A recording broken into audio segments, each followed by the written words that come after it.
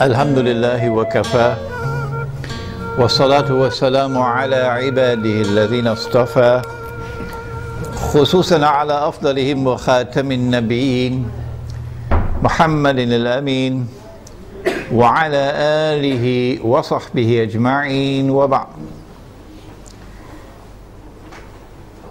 We begin with Allah's blessed name.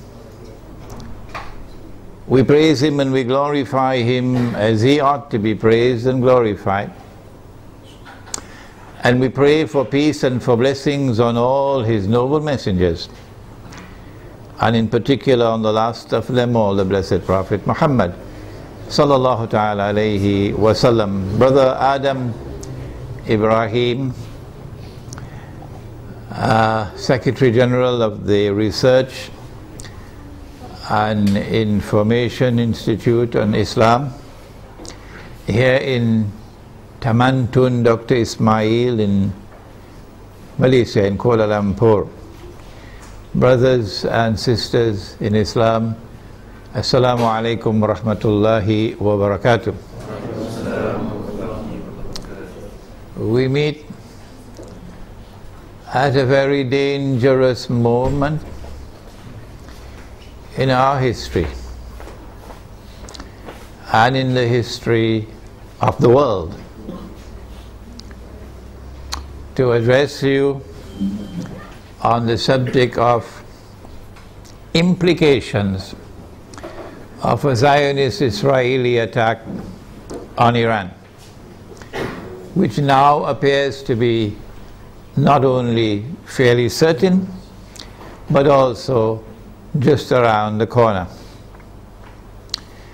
In the process of uh, offering an explanation of the implications of such an attack, I would have to take recourse to Islamic eschatology to locate the implications of that attack in the larger framework of Islam's conception of Akhirul Zaman because I am convinced that it is located precisely in that subject. In the process also of offering my analysis, I will have to offer opinions of mine. If a politician and a prime minister and a government official and a businessman and a carpenter and a taxi driver can offer opinions, why can't a scholar of Islam do the same thing? What's wrong with that? Provided, of course, that we recognize that only Allah does not make mistakes. Number one.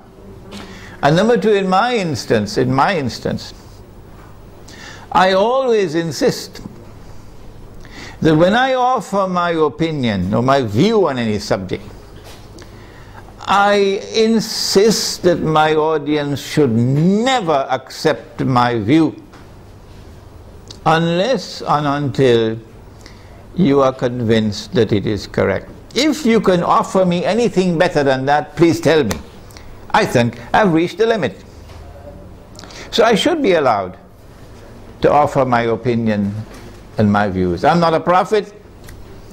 I don't have an angel or a jinn whispering into my ears. I'm offering you opinions based on analysis. And I have the right to do so. And those who warn people don't listen to Imran Hosein should be ashamed of themselves. Having said that, we say that Israel wants to attack Iran because Israel ultimately wants to rule the world. Because the Zionists want to rule the world. Because the Judeo-Christian Zionist European Alliance wants to deliver to the state of Israel the status of ruling state in the world. That's why we believe all these wars are taking place. But why does Israel want to rule the world? They said some 50, 60 years ago, and even then they were telling monstrous lies. So 9 11 was not the first lie.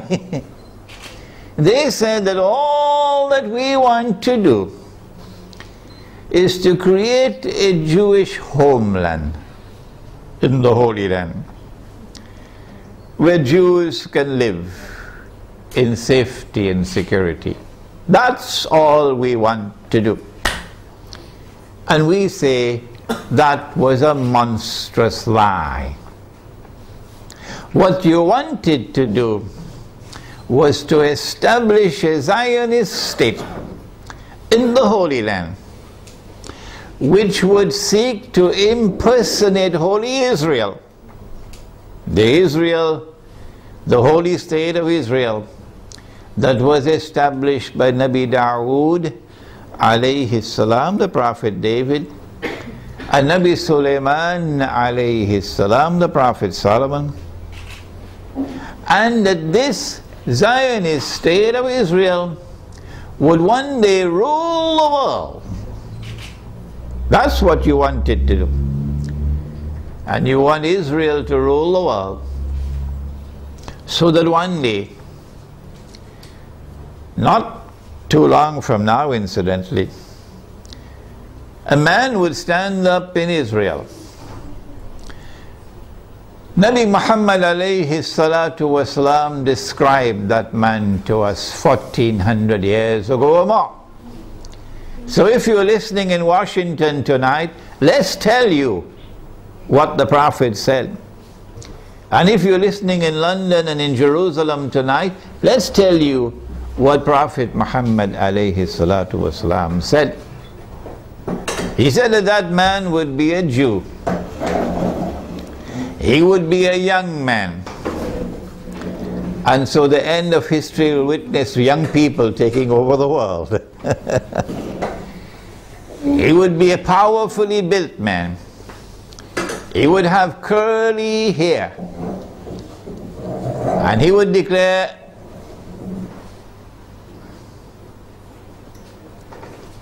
and he would declare, I am the Messiah.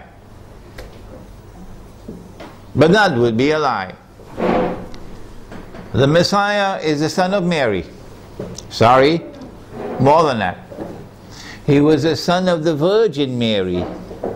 There's only one virgin in the world who ever gave birth to a son and still remained a virgin. And that was Jesus, Nabi Isa alayhi salam. He is the Messiah. Muslims believe that. And most Christians believe that. I don't know whether the Zionist Christians also believe that. Somebody should ask them. He is the Messiah. And one day he's coming back said Nabi Muhammad والسلام, whether Washington believes that or not is irrelevant. One day he's going to come back. Said Nabi Muhammad والسلام, and when he comes back he's going to rule the world from Jerusalem.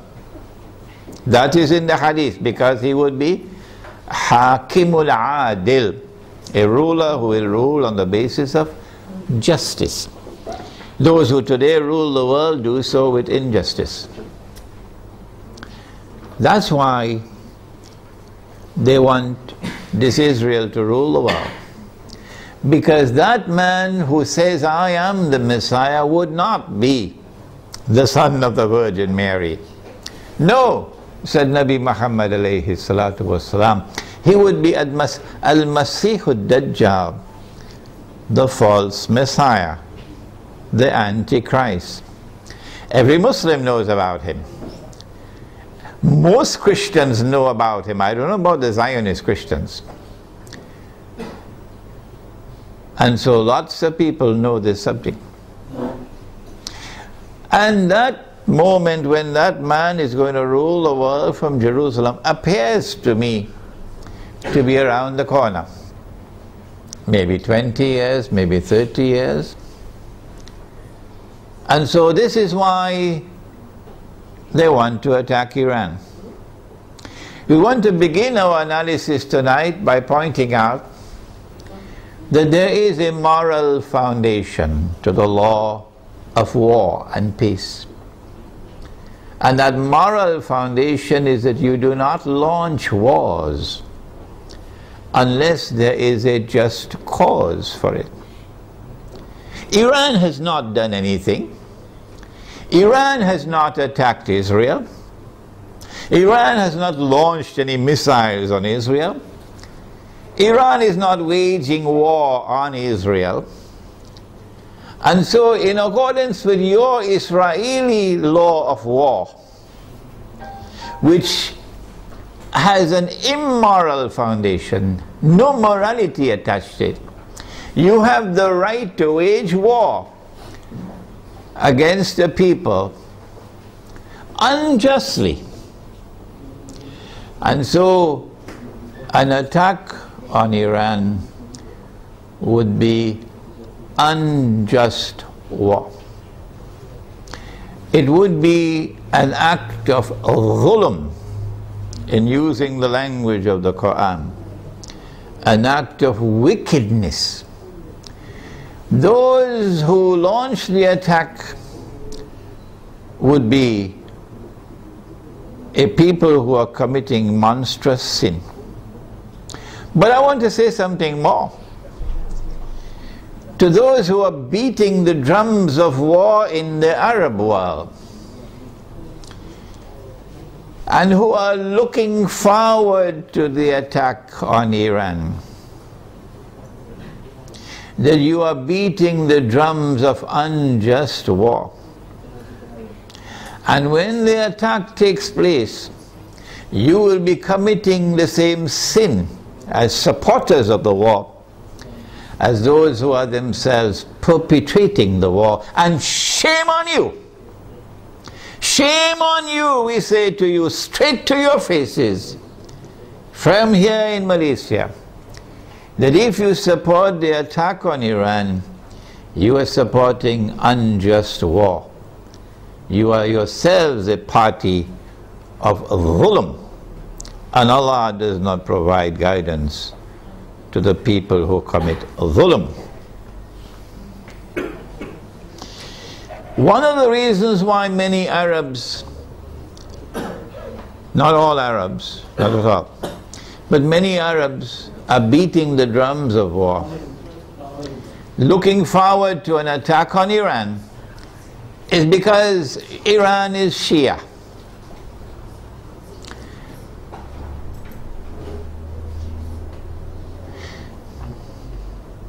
They hold the view that Shia are kuffar. And hence it is permissible to launch war on the kuffar, the disbelievers.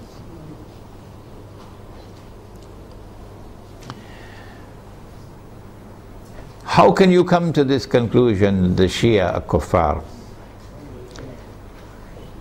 If the Shia are kuffar, then there must be some ijma'ah or consensus of opinion on that subject. That consensus has never been achieved in 1400 years. Why? How can we say so? Here is proof. This is not the only proof, but this is adequate. The no regime in control of the Hijaz in control of the Hajj in our history that we know of has ever prevented the Shia from performing the Hajj.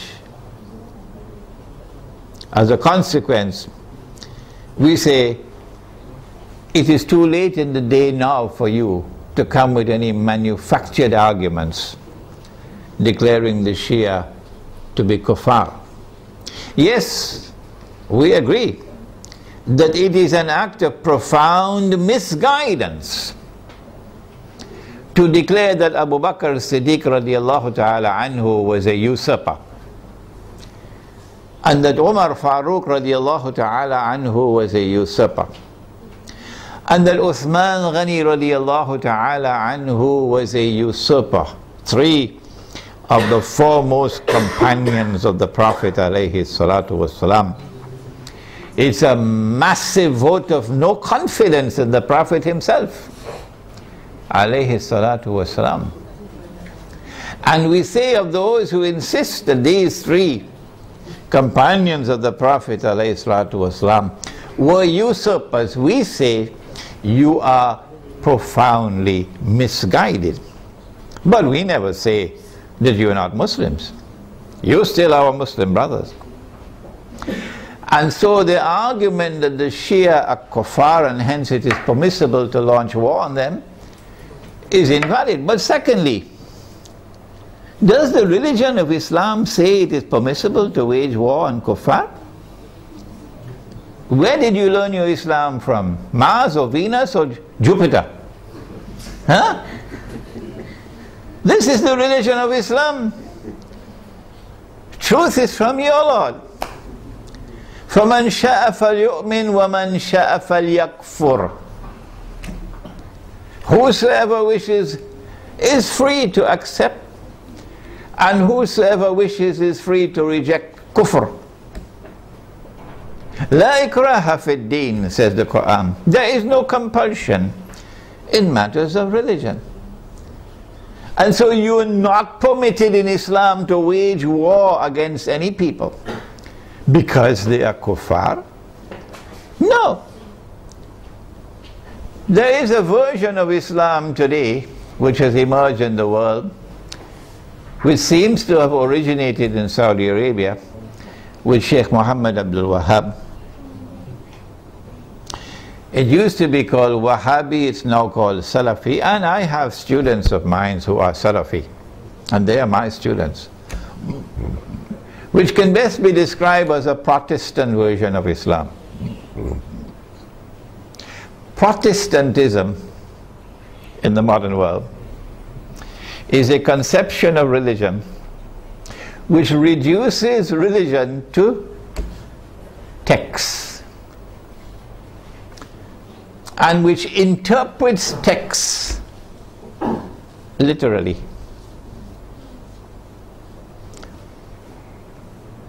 As a consequence, Protestant Islam is incapable of distinguishing between appearance and reality, particularly when they differ with each other. But let's leave that fairly technical subject for a while. It is Protestant Islam today which is beating the drums against the Shia. Muslims who are Sunni and Muslims who are Shia have lived together for 1400 years, peacefully, amicably without any boxing gloves, fighting with each other, without any bloodletting. And it is strange that at a time when the Zionists are about to move to their final stage of the mission, there should come this strange drum beating from that version of Islam with great hostility to the Shia and paving the way for promoting war against the Shia. They call it a jihad against the Shia. They would like to force the Shia to abandon their Shia beliefs and to become Sunni. do you do it by warfare? Actually, although they themselves may not understand it, the drum beating against the Shia and the attack which is about to be launched on Iran is located in a larger framework in which those who are waging war on Islam are seeking are seeking to do something that will function as a catalyst for creating Sunni Shia civil war in the world of Islam. Sunni Shia civil war would be something that would be massively beneficial for Israel. Number one, Sunni Shia civil war will make Islam look negatively, a negative image in the world. At a moment when Islam is center stage in the attention of the whole world. Number two, Sunni Shia civil war in Islam, Sunni versus Shia, would function as a diversion, diverting attention, both Muslim and non both Muslim and non-Muslim attention away from the plans of the Zionists to rule the world. Thirdly, Muslims fighting against themselves will obviously lead to a loss of power. Our power will decrease, and that will be strategically advantageous for Israel. But most important of all, if an attack on Iran provokes Sunnis to be so foolish as to turn in hatred against the Shia and provokes Shia to be equally foolish to turn in hatred against the Sunni, then that Sunni Shia civil war, and I hope none in our audience here tonight is so stupid. It will allow that Sunni Shia civil war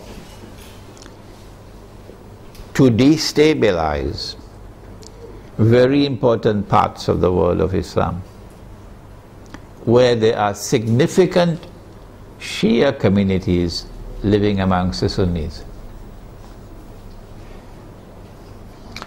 Before we turn to identifying those areas which can be destabilized and advantages for Israel.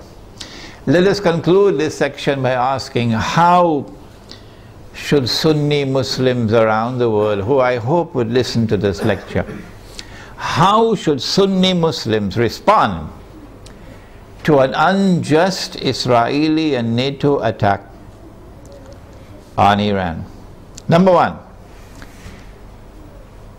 Sunni Muslims must follow the guidance of the Quran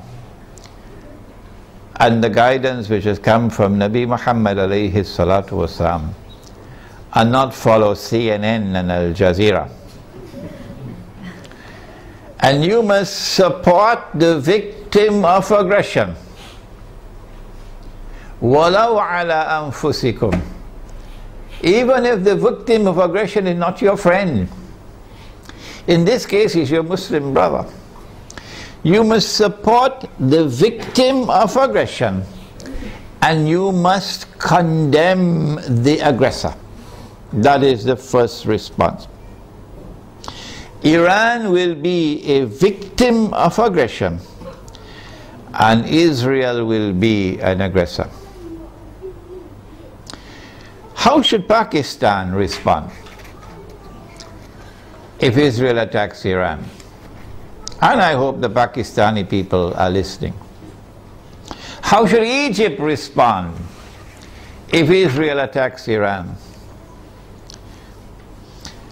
Pakistani Muslims and Egyptian Muslims must ensure that they, the people, don't wait on the governments, and don't wait on the armed forces. The people must respond by showing massive popular support for Iran as a victim of aggression and must clearly condemn not only those who wage war on Iran, but also those who support those who are waging war on Iran with particular reference to the government of Saudi Arabia.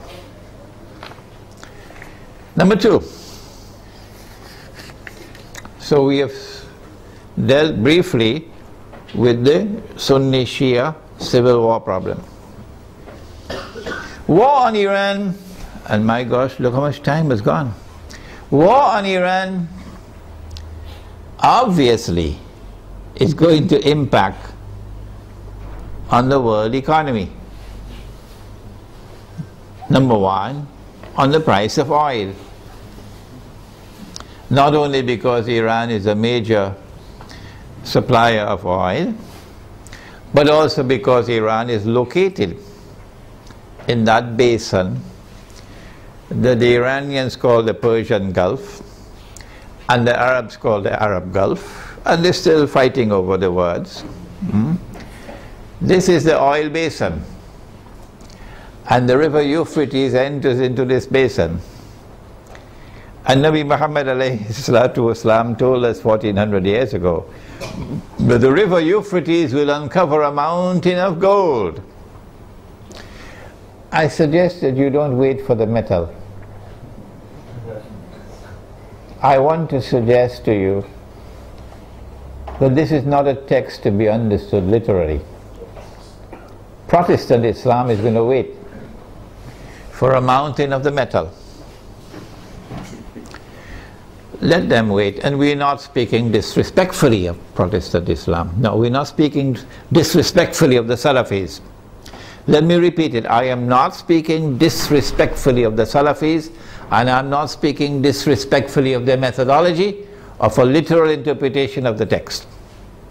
All I'm saying is let them wait for the mountain of the metal. We interpret the text differently. And we say that mountain of gold is already here. And it's black gold. And it's oil. And the Prophet prophesied that they're going to fight over it. And in there, 99 out of every 100 are going to be killed. Conventional war, conventional wars don't kill 99 out of every 100. Conventional wars do not kill 99% of all combatants. This has to be nuclear war to kill 99% of all combatants. Okay? So the Persian Gulf or the Arab Gulf is waiting for nuclear attacks. The price of oil is going to shoot up because Iran can also block the Straits of Hormuz. Yes, in our Iranian territory on this side and Oman on that side. It's not difficult for Iran to block the Straits of Hormuz and disrupt all the passage of oil tankers. So we can anticipate fairly confidently that the price of oil is going to escalate dramatically once the attack takes place. And the American government knows that. And that's why the American government does not want Iran to be attacked. Because the American government knows, and the Federal Reserve knows, and the bankers also know that the US dollar is going to collapse it will not survive an Israeli attack on Iran with the price of oil shooting up through the roof. And if the US dollar collapses, of course, they're going to have to demonetize the US dollar. It will no longer be legal tender. They have to have something in place. They probably already have something to replace it. But at a fraction of its previous value, the American economy is going to collapse large numbers of white Americans are going to lose their wealth. And many of them are going to be listening to this lecture. There's going to be chaos in the United States when the economy collapses.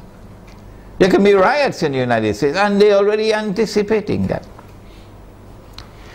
And so an attack on Iran would lead to economic, financial and monetary uh, consequences that will be disastrous for the US economy. Iran wants to become the new, uh, sorry, Israel wants to become the new ruling state in the world. And for that you have to go to my book. Would someone kindly give me a copy of Jerusalem in the Quran? You have to my, go to my book Jerusalem in the Quran for the Islamic eschatology. The Dajjal, when he's released on earth will live for 40 days. The Prophet said, one day like a year, one day like a month, one day like a week, and all the rest of his days like your days. We said a day like a, like a year, and Britain became the ruling state in the world. And the world experienced what they call Pax Britannica. It wasn't Pax at all, it was only war.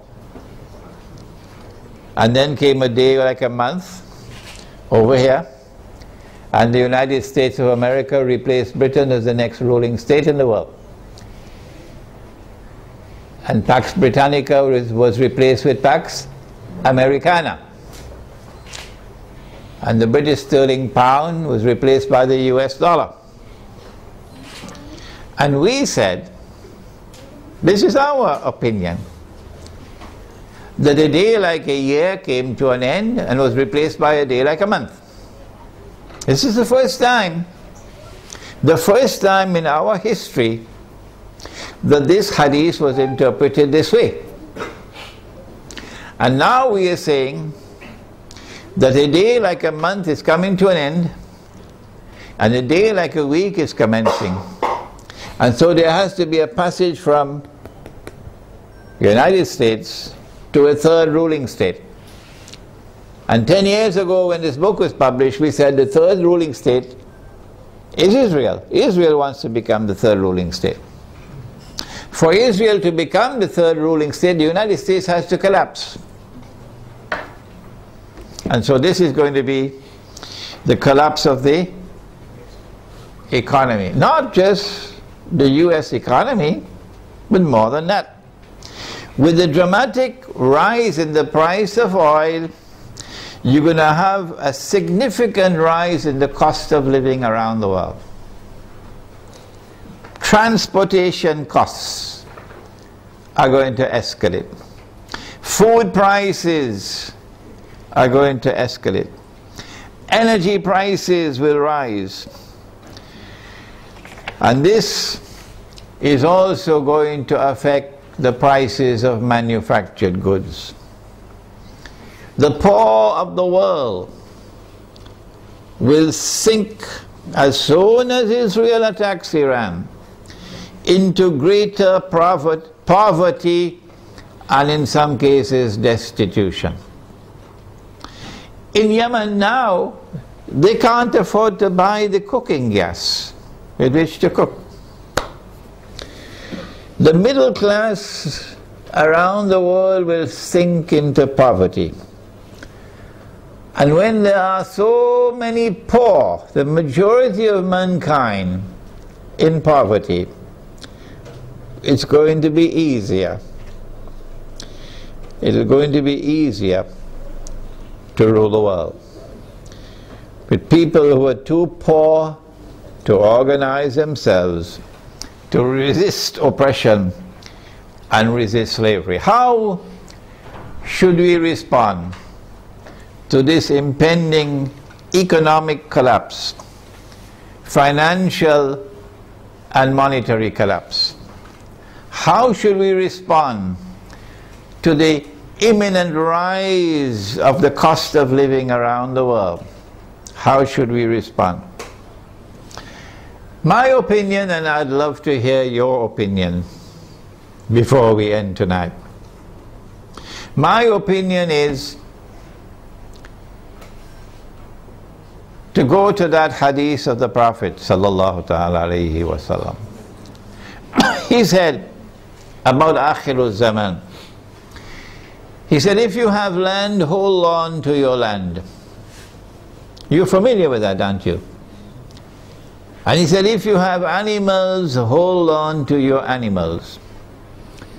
And then a man asks, O Messenger of Allah, what about if we have neither land nor animals? He said, sharpen your sword. Of course, CNN is going to call him a terrorist now. He said, sharpen your sword because you're going to be dealing with chaos and anarchy and riots as people seek to survive by fighting each other for food. Where can we get land and animals to sustain ourselves in this impending collapse? The answer is certainly not in the cities. If you believe that you can survive in the cities and get land and animals in the cities, you should buy a one-way ticket to the moon. and so Egypt, Egypt, I'm talking to you tonight. In Pakistan, I'm talking to you tonight. Listen to me and get out of the cities. 20 million people in a city, 15 million people in a city, who's going to feed them? Where are you going to get your food from? What's going to be the price of that food? Get out of the cities while still there is time. Go to the countryside. Go to where rain falls. Go to where there is water. And produce your own food. Dairy crops, Uh, food crops, dairy farming, milk and meat, so that you can survive the storm that is coming. Ensure there is water supply. Do not depend on oil for energy. Use natural energy. A bicycle is natural energy. Wind, solar energy, water energy. Number two, live in small communities because small communities can more easily sustain themselves without having to dependent on, be dependent on supplies of food from outside the communities.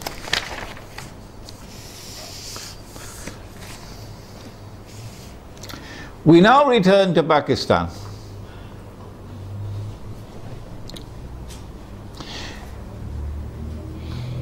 An attack on Iran can be launched simultaneously with an attack on Pakistan.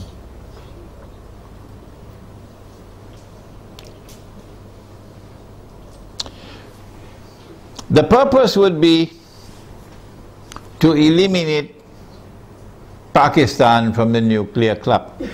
But we've been saying this for 10 years now. When the attack on America took place in September 2001, we produced a booklet two months later, a Muslim response to the attack on America. That booklet is on my website. And in that booklet we said that those who planned and executed 9-11 had as their ultimate target Pakistan. And they put the blame on Afghanistan so that they could put their troops in Afghanistan so that they'll be advantageously located for moving in on the final target, which is Pakistan. Why Pakistan? Why is Pakistan so important? The answer is Pakistan is a member of the nuclear club. It is the only Muslim country which possesses nuclear weapons. And according to the Bible of the Zionists, no Muslim country must be able to defend itself. the Zionist Bible says that no Muslim country must have nuclear weapons. But the Zionist Bible says Israel can have as many nuclear weapons as it wants. And Israel should be able to also use its nuclear weapons according to their moral law. And because Pakistan has nuclear weapons, Pakistan has to be denuclearized.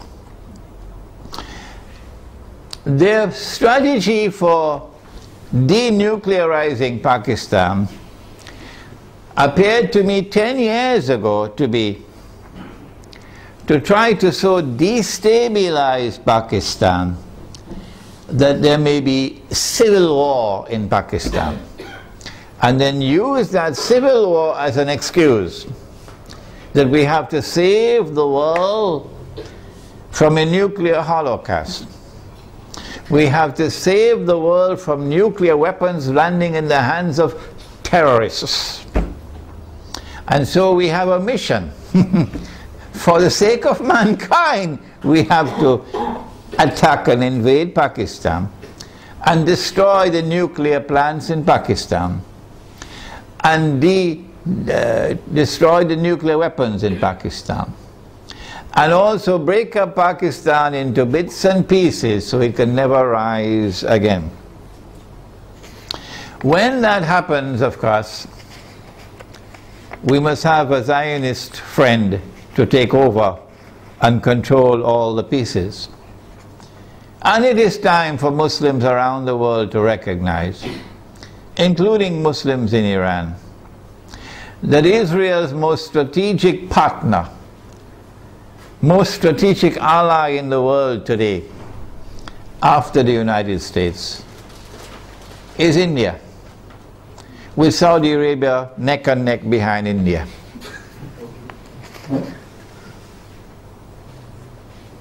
And so, not only must India be involved in the attack,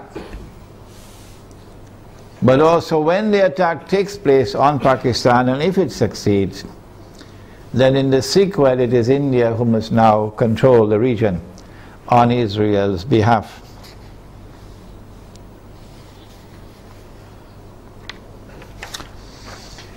An attack on Pakistan, a successful attack on Pakistan, and the denuclearization of Pakistan and the breakup of Pakistan into bits and pieces will impact upon Muslims in the whole of that subcontinent in such a way as to bring about a state of demoralization and despair.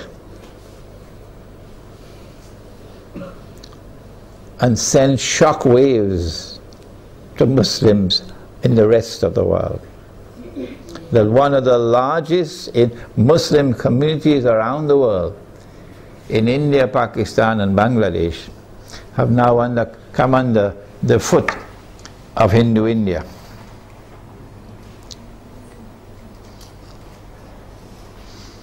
So India will rule the entire South Asia with NATO in control in Afghanistan. What should Pakistan do at a time like this? This late hour. Perhaps it's already too late for Pakistan to do anything. Because those who have controlled Pakistan politically and those who have been in control of the Pakistan armed forces have distinguished themselves with their stupidity. And I have to use a harsh language. I'm so sorry to use this harsh language against them.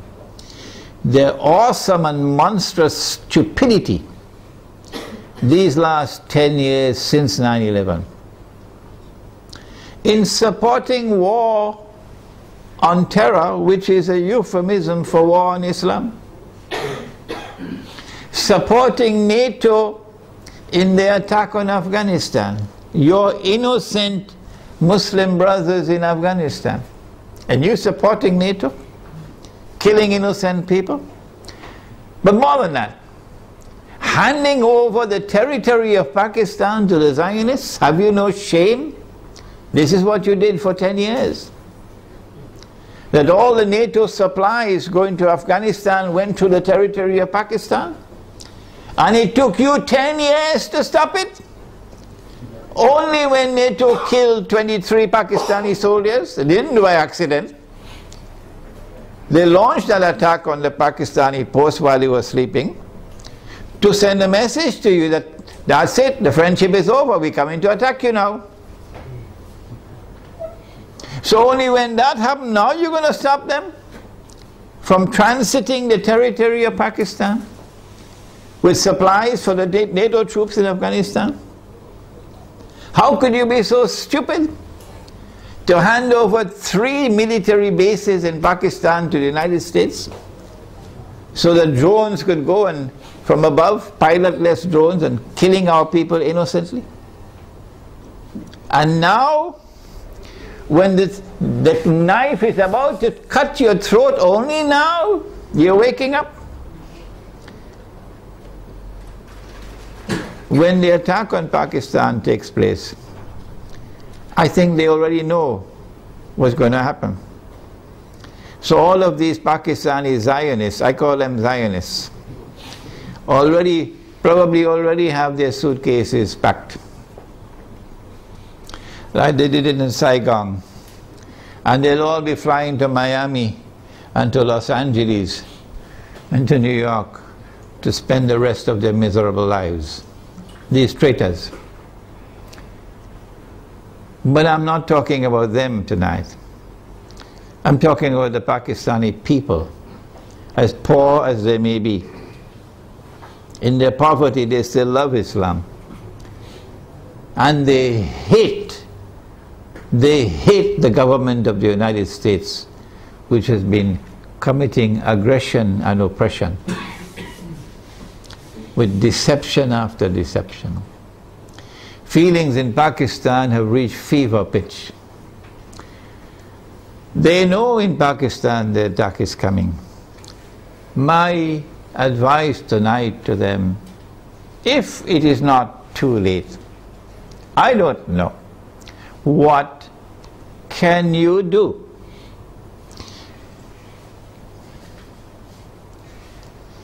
My answer is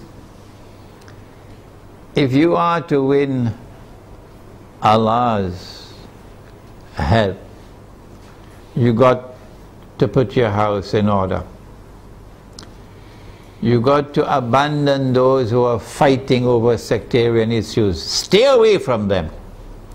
Get away from these people. Deobandi versus Barelvi. huh? This sect against that sect. Treat these people as though they are a people who have to be cast aside. Don't keep their company.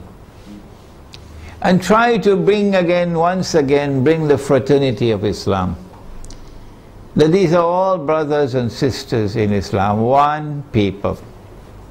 Identify yourself as a Muslim.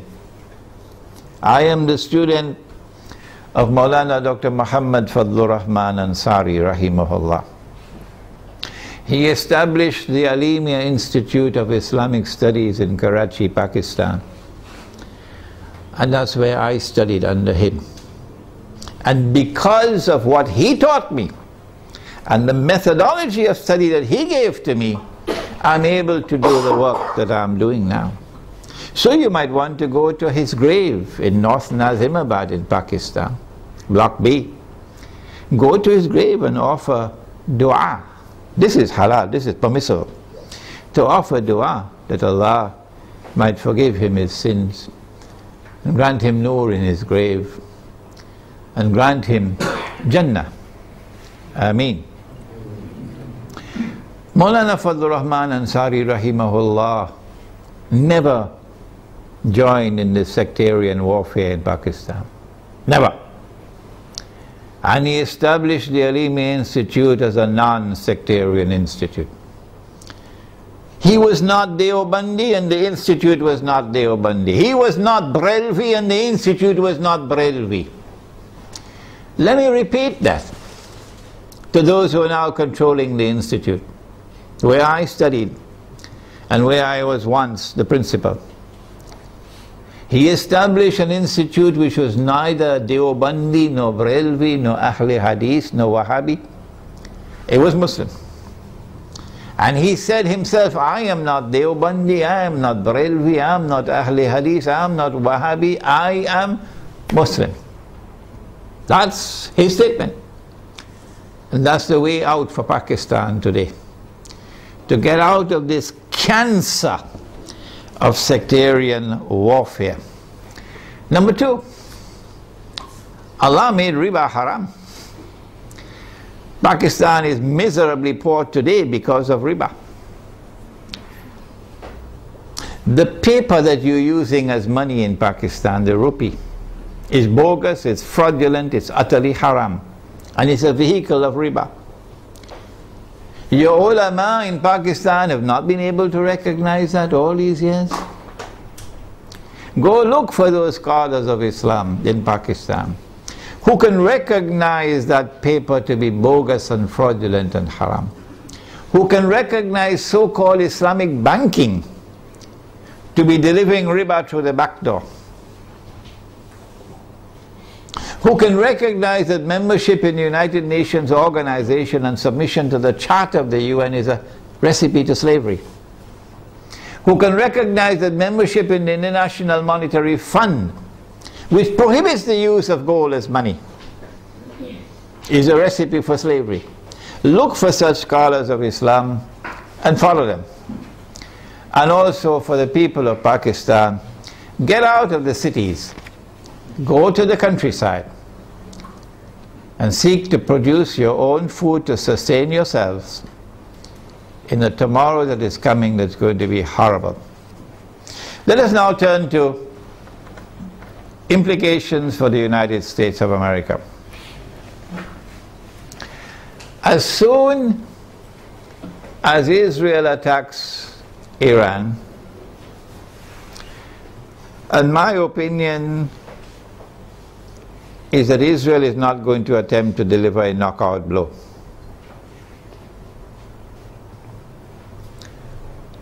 Israel will attack Iran in order to commence wars that she hopes will follow one after the other.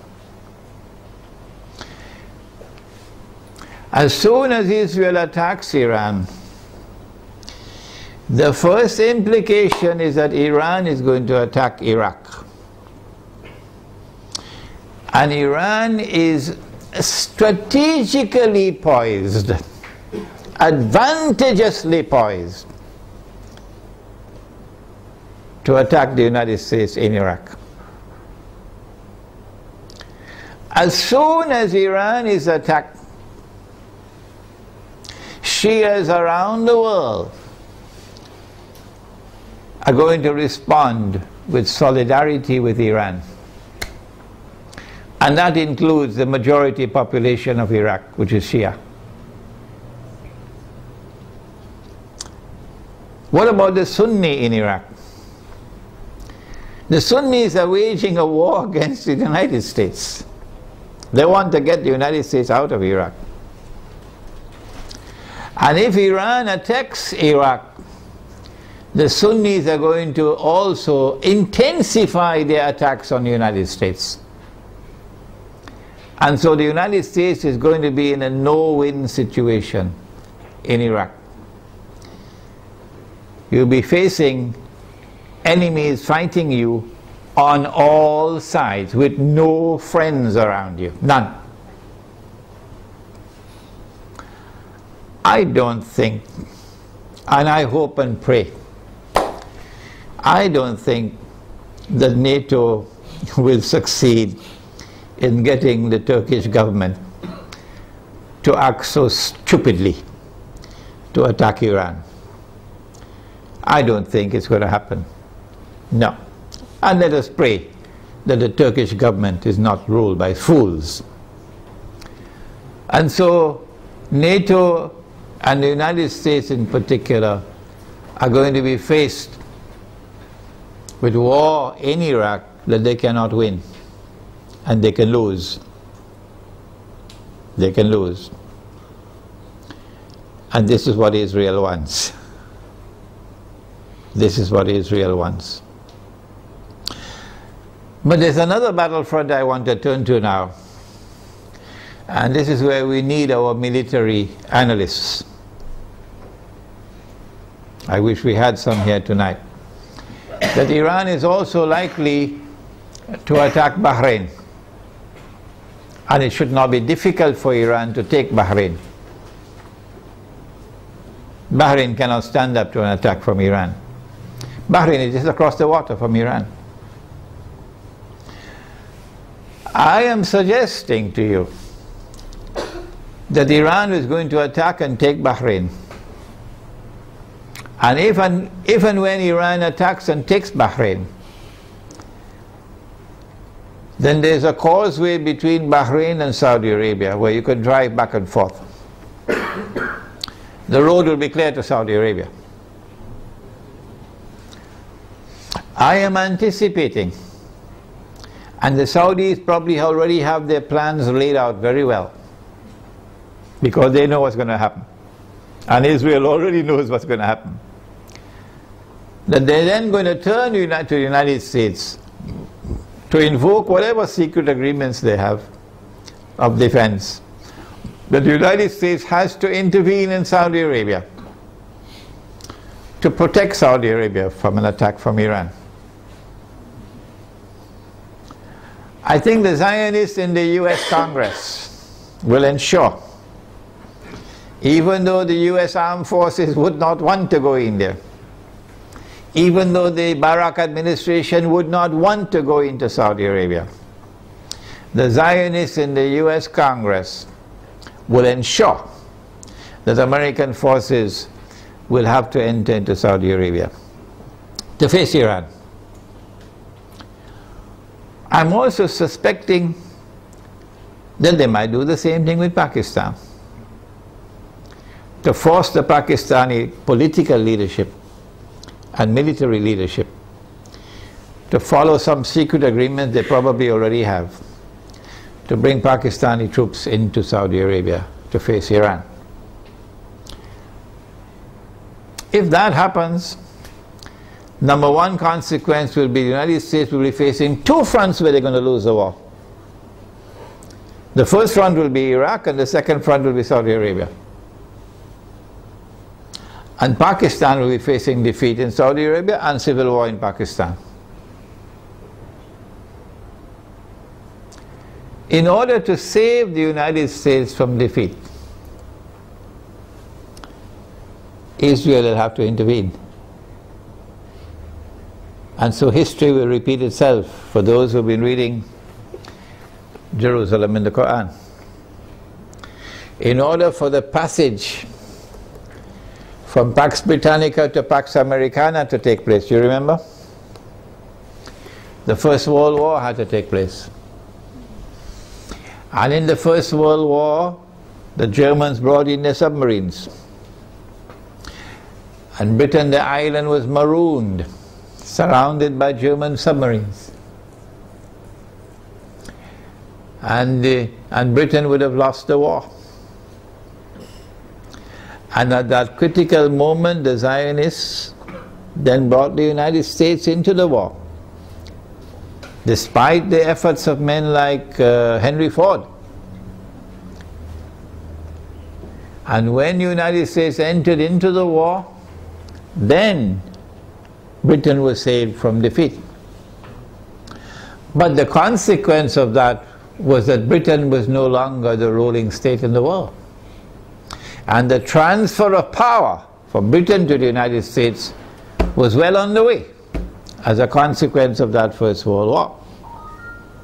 So I am suggesting to you that the planning that is now taking place is a repeat of what happened then. That they're setting a trap for the United States. So that the United States is going to be led to a situation where it's going to be facing defeat in Iraq and in Saudi Arabia. These are my opinions, you don't have to accept them. And only one power in that region could intervene to save the United States from defeat, and that is Israel. And that would be the bell being rung. that this is the passage of power now from Pax Americana to Pax Judaica.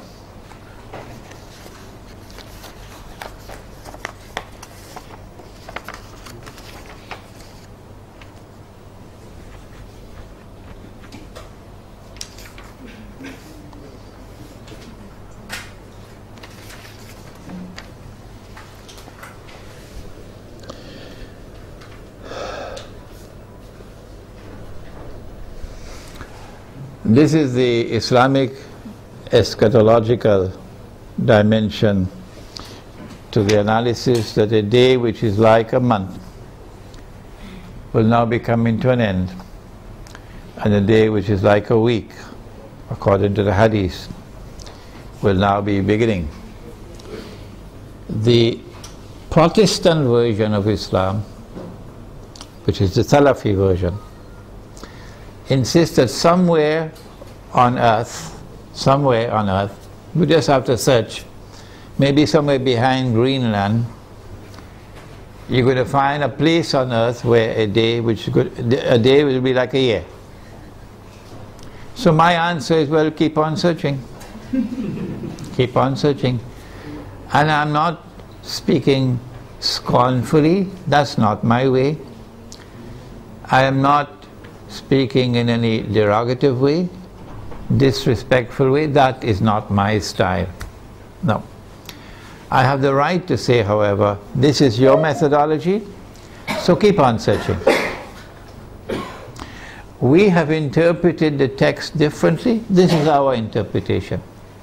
And we have insisted time and again that no one should accept our interpretation unless and until you are convinced that it is correct. We said a day like a year is a different dimension of space and time than the one in which we live. So to a day like a month and so to a day like a week. But Dajjal is here on earth, but you can't see him. Only when a day which is like a week comes to an end. After Israel has ruled the world for a day which is like a week. Only then would Dajjal appear in our world as a human being. As a young man, powerfully built, curly hair and so on, to rule the world from Jerusalem. And so our Islamic eschatological analysis is that the United States is being led with a controlled demolition of the US dollar, not happening by accident. A controlled demolition of the US economy is not happening by accident. And a trap being set for the United States militarily so that the United States will no longer, can no longer be recognized as the ruling state in the world and Israel can replace them. I want to end now by turning to two actors and we thank Allah that He created both Gog and Magog. If He had created Gog alone, we would have been in a lot of trouble now. But He created both Gog and Magog. And He gave both the Gog and Magog the power that none can fight them except Allah Himself. So if Gog and Magog turn against each other, they'll destroy each other. Wouldn't they? If you do not understand the subject, I have a book at the back entitled An Islamic View of Gog and Magog in the Modern World. And again, as usual, the Salafis are rejecting that book. Imran Hosein is misguided. I think that for Russia and for China, an Israeli attack on Iran, particularly if it involves the use of nuclear weapons, would be recognized as a threshold being crossed that so long as you did not cross that threshold, Russia and China were prepared to go along and continue. In the Security Council of the United Nations, for example, cooperating and collaborating where possible in managing the affairs of the world. But once you cross that threshold, the implication for Russia and China is that you have crossed the point of no return. And that an attack on Iran is now going to inevitably lead to world war.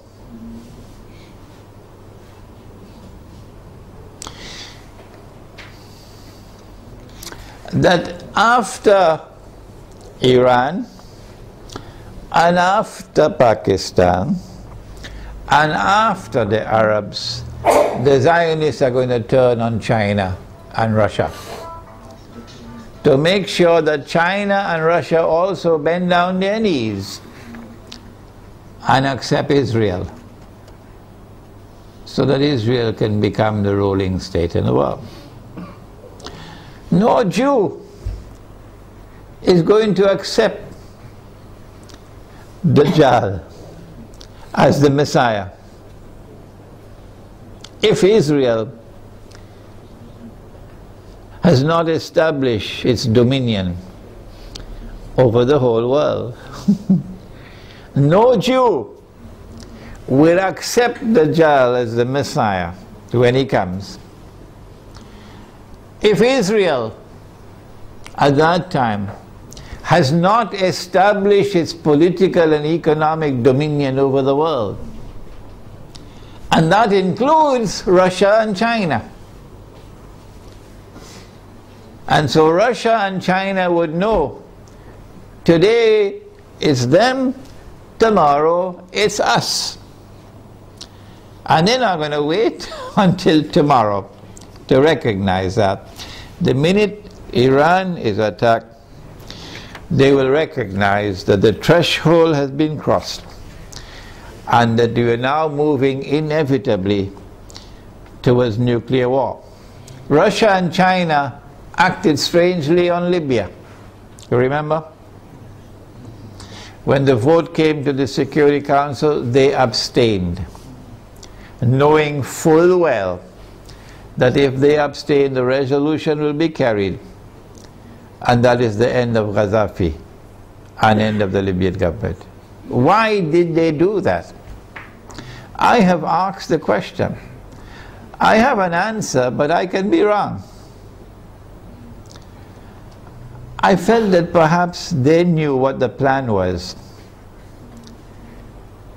And they wanted to let the Western world, NATO, to sink deeper and deeper into a quagmire, you know, like shifting sands, you can't get up. So eventually they will end up in the graveyard and only then will, need, will Russia and China attack them. How are Russia and China responding to Syria at the moment? How will Ch Russia and China respond to an attack on Iran and on Pakistan?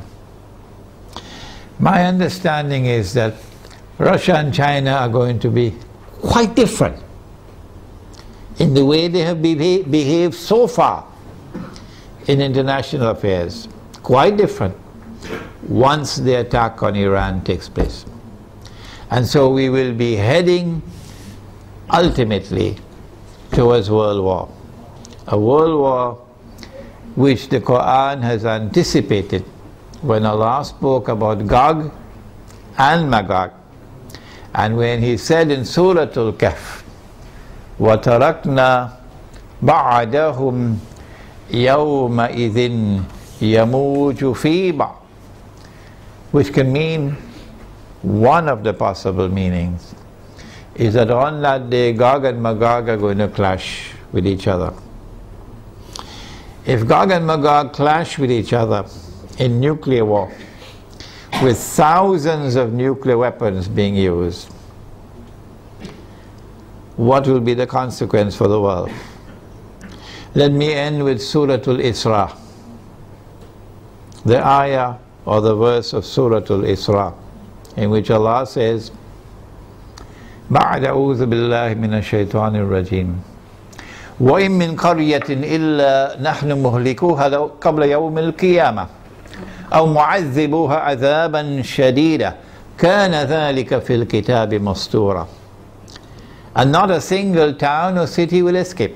They'll all be destroyed. And those which escape destruction will be punished with terrible punishment. And all of this is inscribed in the book. This brings an end to our preliminary analysis of the implications of an Israeli attack on Iran. We have certainly not exhausted the subject. And it is likely that we'll have to come back to the subject in a second and a third lecture. But I do believe that we have done sufficiently tonight to provoke you now to think on the subject And I'll be very happy to hear your views and your responses. ربنا تقبل منا إنك أنت السميع العليم وتب علينا يا مولانا إنك أنت التواب الرحيم برحمتك يا أرحم الراحمين آمين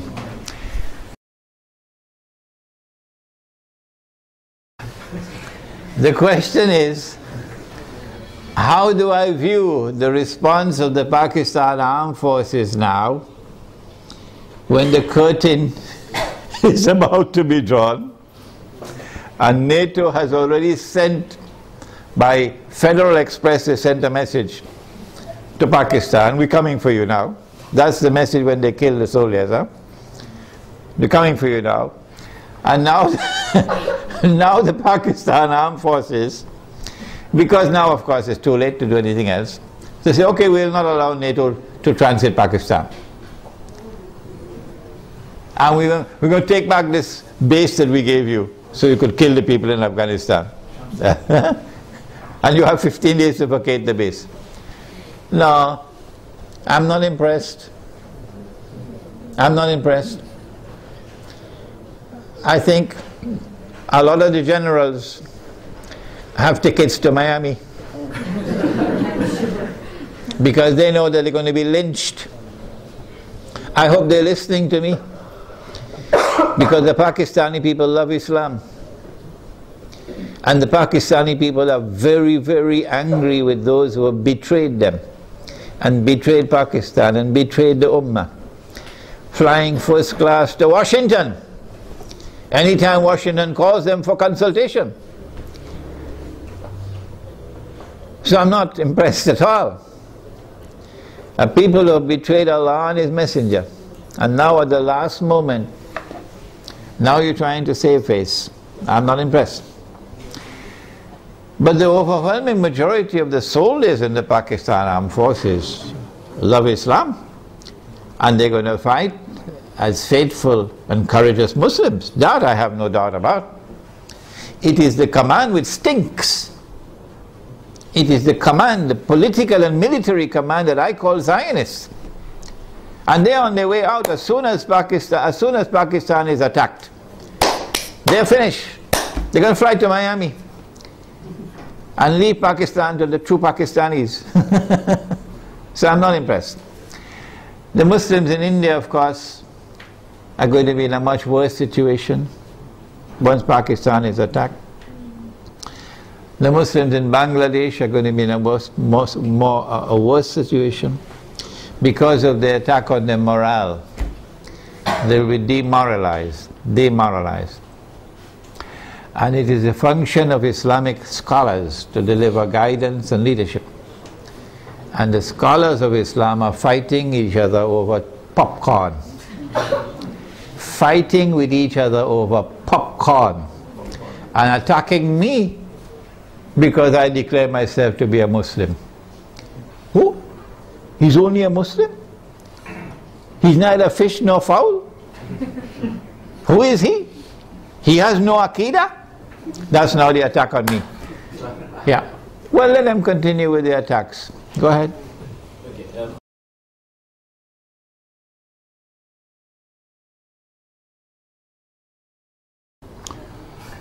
Um, the question is whether the world is going to come to an end, Armageddon, the war of all wars, which will destroy most of humanity. Is it going to take place next year, 2012?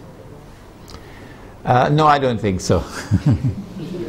no, I don't think so. I mean, Israel will wage war on Iran. I believe that 2012 will witness the commencement of a series of wars, one after the other. And Singapore knows that very well.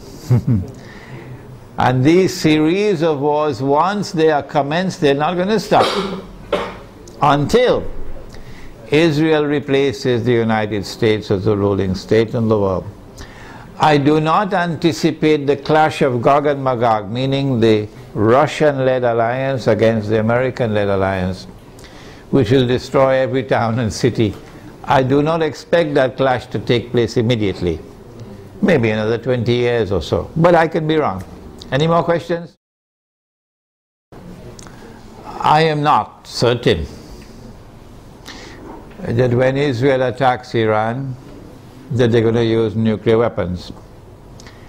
I expect the use of limited nuclear weapons on certain specific sites in order to destroy nuclear plants, hmm? Underground nuclear plants and so on. But I hardly think that Israel is going to use tactical nuclear weapons in populated areas. Hmm? The uh, public opinion around the world, the backlash of public opinion would be too great. The hadith he has asked about that Dajjal will be followed by 70,000 Jews from Isfahan wearing the Persian shawls. Um, and he says that there are now about 30,000 Jews in Iran. Part of the strategy adopted by Gog and Magog has been to accept a religion. The Khazar, for example, accepted Judaism. And so the world witnessed for the first time the unique phenomenon of something called a European Jew. Prior to this, the only Jews that there were in the world were Semitic Jews, Semites. the Europeans are not Semites. But when the Khazar accepted Judaism, this is a historical fact, they accepted Judaism, the European Jews came into being. And we, and the Quran accepts as a Jew whoever claims to be a Jew. You may not be an Israelite, you may not be an Israelite, but if you declare yourself to be a Jew, then we accept you as a Jew. And so when the Prophet said, alayhi salatu that you're going to fight the Jews, and you're going to defeat them, and at that time the stones and the trees will speak, and they will say, there's a Muslim, Muslim, there's a Jew hiding behind me, come and kill him. It's not referring to any Israelite Jew alone, referring to all Jews, European Jews as well as Israelite Jews. 40,000 Jews from Isfahan, therefore, could be Jews both Israelite or non-Israelite. Hmm? Um, sometimes, uh, 70,000, sorry. Sometimes when the hadith uses a figure, it uses it figuratively, figuratively uh, what I um, can't get the pronunciation, as a figure of speech.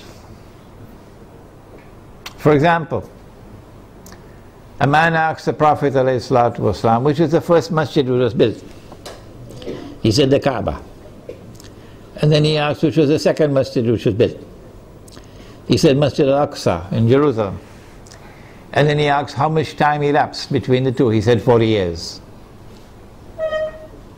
40 years for a few thousand years? 40 years for a few thousand years between this one and that one?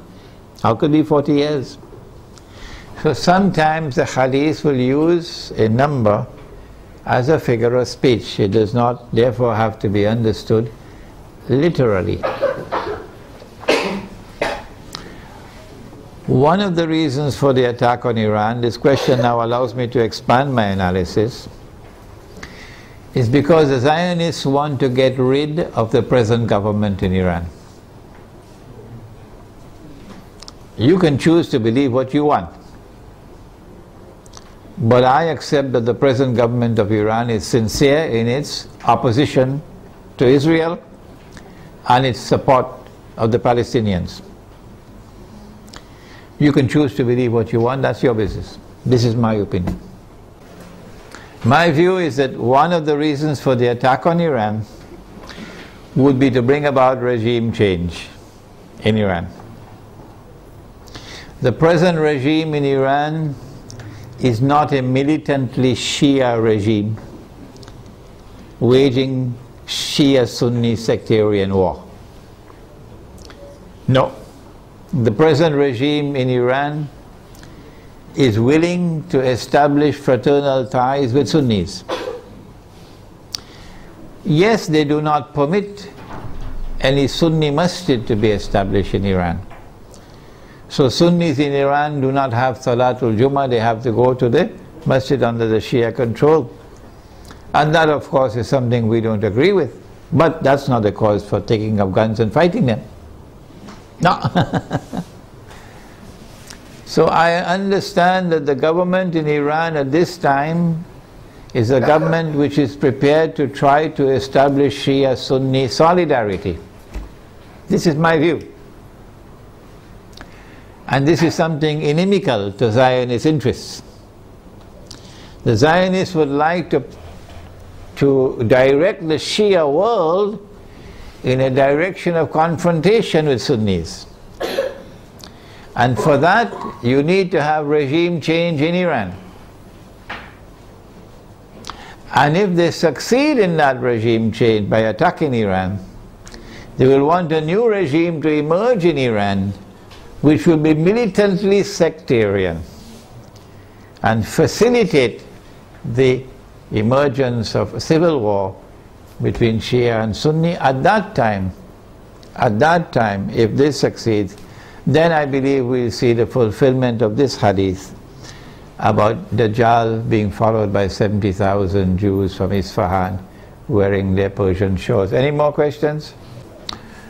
The question pertains to the use of gold and silver as money and the utility of buying gold and silver this time when the gold stocks of the world are controlled by those who are not Muslims and that by, going, by buying gold you are enriching non-Muslims. Um, I have a book at the back entitled the gold dinar and silver dirham, Islam and the future of money. Uh, whether we like it or whether we don't, the world tomorrow, in my opinion, is going to return to gold and silver as money. whether you like it or whether you don't.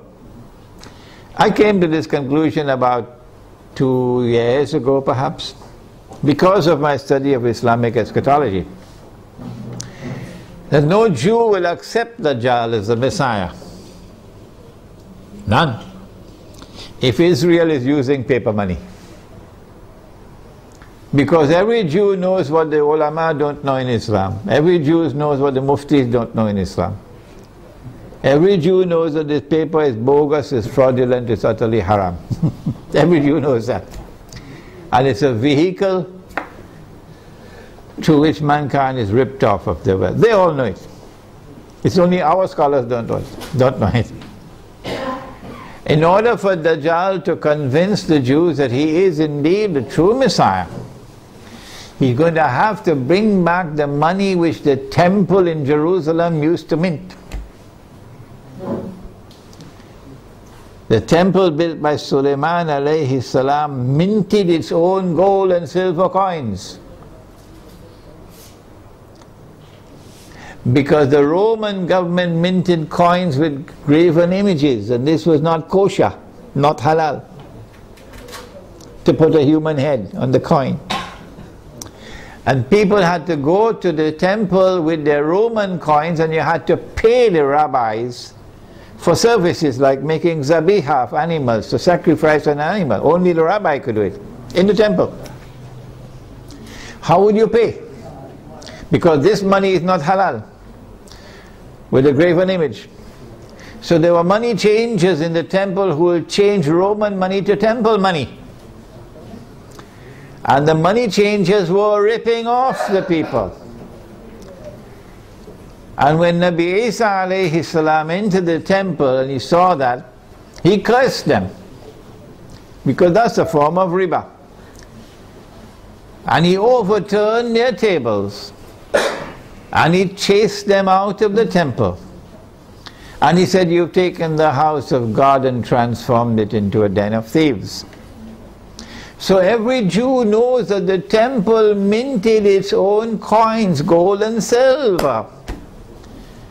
And so Israel has to return to gold and silver as money.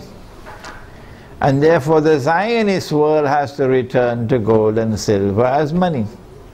And when they do, guess what the world of Islam will do? The muftis are going to wake up. And they're going to say, yes, yes, yes, this is halal money. Yes, yes, yes, we should have dinar and dirham. I have prayed to Allah to beg Him to take me away from the world. I don't want to live to see that day. Because the shame and the disgrace will be too great for me. The shame and the disgrace as a Muslim for me will be too great. On that day, when they have brought back dinar and dirham as money, and only then do our people wake up. But I also pray to Allah for something else to keep all those muftis and all those scholars alive on that day. keep them alive, even if you have to bring them on a stretcher, keep them alive. so that they will witness the shame and disgrace on that day. Those who today, up to this day, they are not prepared to say that this paper money is bogus, is fraudulent, is utterly haram. Keep them alive to that day. So whether we like it or whether we don't, gold and silver is coming back as money. Secondly, if I am correct that this paper is bogus and fraudulent and haram, you read my book at the back, The Gold Dinar and Silver Dirham, Islam and the Future of Money, and listen to my lectures on the subject Islam and the International Monetary System. If I'm correct, then every transaction involving the use of this paper is haram. Every transaction. So you pay your zakat, it won't be accepted. You give charity, it won't be accepted. You have nikah and you give the dowry, it won't be accepted. You use this to perform your hajj, it won't be accepted. Every transaction will be haram. Well then what do you do? You have to return to halal money. Halal money is first and foremost dinar and dirham. In the event that dinar and dirham are in short supply in a market, then halal money would be commodities of food consumption which are in abundant supply in the market, which have a shelf life, and which has intrinsic value created by Allah Himself. Any more questions? The Prophet said that the time will come when you'll not be able to find a single person in all of mankind who will not be consuming riba. Are you aware of this?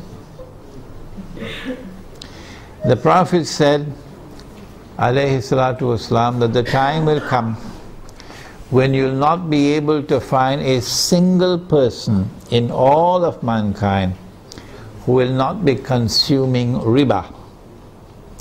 And whoever declares that he is not consuming riba, verily the dust of riba would be upon him. Verily the vapor of riba would reach him. So it is not possible for us to escape completely. But in Surah Al-Taghabun, of the Quran, Allah says, Ittaqullaha mastata'tum. Fear Allah to the extent that you have capacity to do so. What we are doing is advising and also preparing the way to establish communities. I have here in this audience students of mine who are working on it even as I speak, right here in Malaysia to build communities in the countryside, Muslim villages, which will use dinar and dirham for as money for buying and selling. And in those communities you will not use the paper money. At least this is an effort to respond. If you have a better way, tell us, show it to us. We are not convinced that you can do this in downtown KLCC. we are, on the contrary, convinced that you can do it in the countryside. And once you make that effort, then Allah can help you. Okay? So, even when you build such a community in the countryside, and 90% of all your transactions are halal, you will still have to market your produce. People who are coming from outside to buy, or you buying things from outside. There will still be interaction with the outside world. And that interaction will be involving electronic money. Tomorrow paper will be gone. Okay? So let us agree on this position that we are obliged to make the best effort. Any more questions? The question is about the euro and the fact that the euro is in trouble. Before the euro was created, put together, you had individual currencies in Europe. Okay? And you still have them, but they're now linked together. If the euro collapses, then the, you return to what you had before. The German mark by itself, the Italian lira by itself, the sterling pound by itself, the French franc by, uh, existing by themselves separate from each other. We just go back to where you were before. But in the same way that we, the world is witnessing a, witnessing a controlled demolition of the US dollar, so too it's not far-fetched for us to recognize that the same thing is happening to the euro. That this is international banking at work, okay, reorganizing the world in such a way that electronic money will replace paper money and the banking system will take control of the money system in the world. Governments will no longer have control over money. Banking system will have control over money. The euro cannot stand in the way and therefore there is this demolition. The US dollar cannot stand in the way and therefore there is this demolition. One thing concerning gold that I forgot to mention. Do you know there's a hadith about Akhiru Zaman or the last age? It is there in my book entitled uh, One Jamaat, One Amir, which is out of, uh, out of print at the moment. But that book is on my website, you can read it.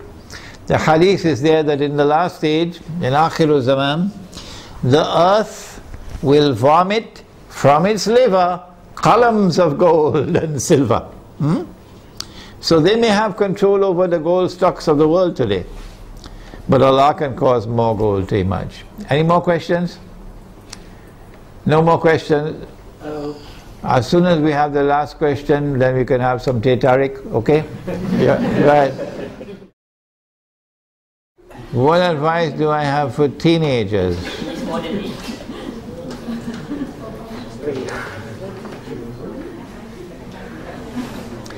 He said that Dajjal will be a young man. A young man. And I said, based on that hadith, that tomorrow the young people are going to rule the world.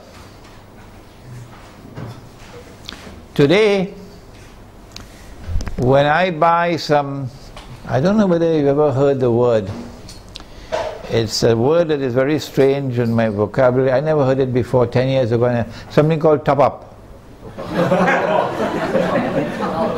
top up. Yeah, top up. Yeah. so, when I buy this strange thing called up, I have to ask the fellow to put in the money for me. Because I don't know how to do it. And I'm really not interested in learning how to do it. if you send me, if you make the mistake of sending me a text message, you'll wait a couple of years to get a reply. Because I don't know how to send text messages and I don't want to learn to make I do not want to learn. I have enough misery in my life answering a hundred emails every day. Why should I make my life more miserable? uh, with text messages. The young people are the ones who are going to be technologically literate. And all the people will behave the way I'm behaving. So young people are going to rule the world and run the world tomorrow. As the world becomes more technologically interlinked. So young people have a strategic role to play in the world which is now coming into being. Because at that stage of youth it is easier for them to learn to learn these things of technology. But uh, Surah Al-Kahf of the Quran has delivered to us a very important guideline. And that is that the ones who will show the greatest understanding of the Dajjal, the quickest understanding of the Dajjal, and the ones who will display the best backbone. You know they had backbones made out of iron and steel, and you know they also backbones made out of recycled paper. You know that? So the ones who are going to demonstrate the greatest backbone for resisting the oppressor, the oppressor, are the young ones. This is in Surah Al-Kahf of the Quran, the story of the young men in the cave. Hmm? And this has been my experience. That the ones who show the greatest resistance to my message that I deliver are the elders and the ones who are flocking to me and longing to learn from me and insisting they're going to come to Malaysia, they're going to come to KL, whether I like it or not, they're coming to study with me. Are the young ones. Some of them 15 years of age, 16, 17 years of age. They're going to be listening to this lecture. And they show sharpness of understanding, and their parents are opposing them. Hmm? And so, I believe being young, and if your heart is not corrupted with pornography, which is around the corner, being young, and if you do not corrupt yourselves in uh, sexual promiscuity, and destroy your inner light. Being young and your heart being guided in the right path, then tomorrow for you there's a glorious day ahead. Because you're the ones who are going to take the flag. you're the ones who are going to carry the flag of Islam tomorrow. And that's what the story of young men in the cave. Do please read my book, Surah Al-Kahf, and the modern age. Last question. I can't remember when last I used the word Taliban. no. I refer to the authentic Islamic resistance. The authentic Islamic resistance, resisting oppression in Afghanistan, resisting oppression and occupation in Iraq. What do I think of them? They are the ones who tomorrow are going to lead the army. They're the ones who are going to open the way for the army which is going to march straight to Jerusalem. This is the only armed resistance in the world of Islam with a guarantee of success by the hadith. Guarantee of success. And we must support that armed resistance in Afghanistan and in Iraq in whatever way we can, with our tongue, with our pockets, in whatever way we can. All right, that's enough for tonight. Uh, Wednesday night at the Tenaga International University. Tenaga National? No, no, no, no. Tenaga National at the Tenaga National University in Bangi. in Bangi at the same time, 8 o'clock. And the topic is Islam, the United Nations, and the New World Order. And then on Saturday, the last one, at uh, UIA in Gombak, uh, on the coming financial crash. It's a seminar with um, Dr. Mira and myself taking the whole of the Saturday morning. ربنا تقبل منا انك انت السميع العليم وتب علينا يا مولانا انك انت التواب الرحيم اللهم انت السلام ومنك السلام تبارك ربنا وتعاليت يا ذا الجلال والاكرام اللهم ارنا الحق حقا وارزقنا اتباعه وارنا الباطل باطلا وارزقنا اجتنابه. اللهم أرنا الأشياء كما هي. اللهم إنك عفو كريم تحب العفو فاعف عنا يا كريم. اللهم إنا نعوذ بك من عذاب القبر ومن عذاب النار ونعوذ بك من فتنة المحيا والممات ومن فتنة المسيح الدجال. وصلى الله تعالى على خير خلقه محمد وعلى آله وعلى أصحابه أجمعين برحمتك يا أرحم الراحمين. آمين. إلهي لست للفردوس أعلى ولا أقوى على نار الجحيم. الله فهب لي التوبة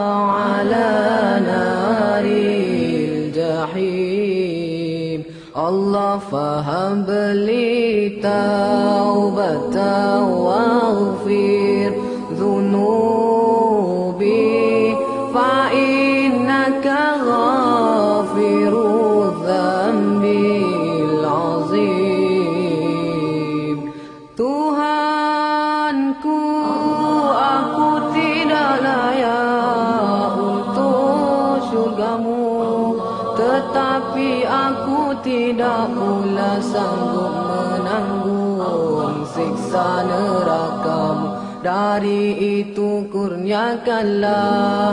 Ampunan kepadaku Ampunkanlah dosaku. Sesungguhnya engkaulah pengampun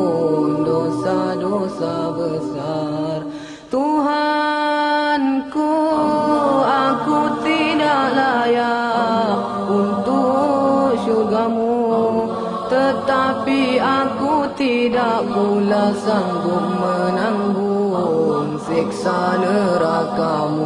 Dari itu kurniakanlah ampunan kepadaku Ampunkanlah dosaku.